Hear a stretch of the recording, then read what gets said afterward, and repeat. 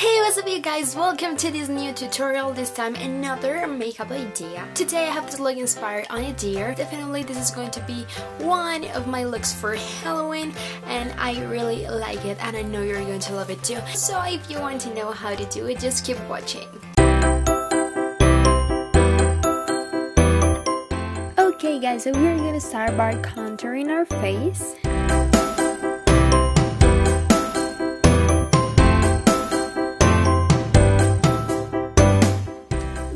Going to take your eyeliner and start drawing two lines. They have to be like the cat ones, but two of them.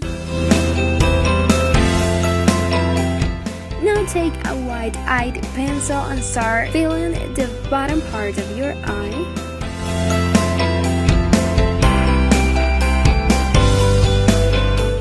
And take the black eyeliner again and do another line under that white part.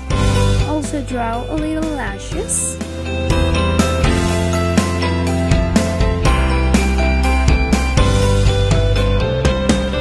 Now we're gonna be start by applying some eyeshadow so take a really soft color and start putting it on your eyelid.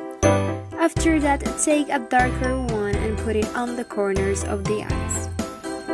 Now we're gonna be doing our eyebrows so take a black eyebrow pencil and start filling them up and on the inside make them longer and start drawing a line that goes all through your nose. Make a line to join them and start filling your nose.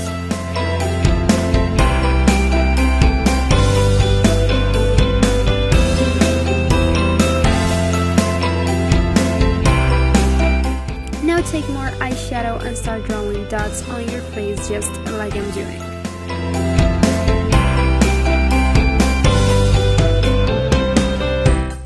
Now we're gonna be doing the lips. I'm using like a brown color. And as a final step, take some fake lashes and put them on your eye.